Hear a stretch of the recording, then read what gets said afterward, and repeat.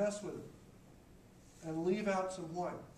Don't, don't bother trying to fill the whole thing in with uh, blue and then white over it. It's not gonna work out.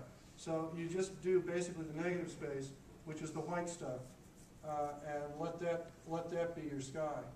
Uh, Take your CAD drawings, and this is, uh, draw over it a little bit until you get basically the idea you want.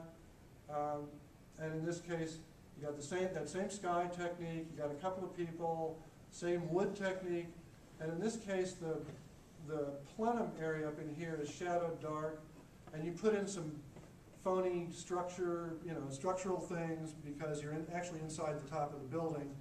Uh, I say phony because neither one of us actually knows what goes on up in there, but there will be some stuff up in there. And it gives it a sort of verisimilitude to, to do it that way. Um, Again, take your CAD, uh, and then just start filling it in. The sky, that same sky technique out here, some people, some wood paneling.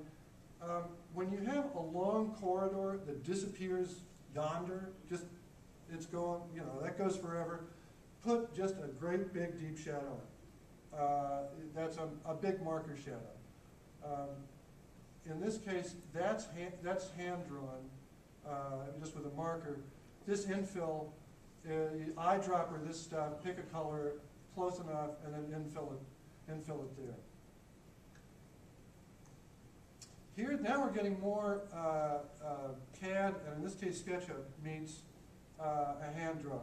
This was a SketchUp model, and I'll get to SketchUp in a second. Um, Flatten out some parts, like the stairway going up is gone, because it wasn't helpful in this particular diagram. They needed to see how their reception area related to their waiting area, related to their uh, conference